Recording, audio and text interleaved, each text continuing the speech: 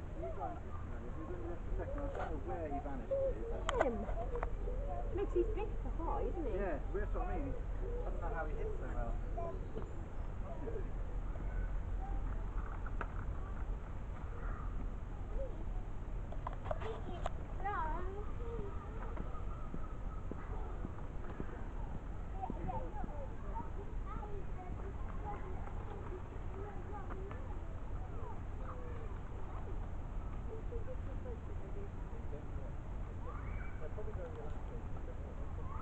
probably would. No, no, no, no. Don't go too close to them.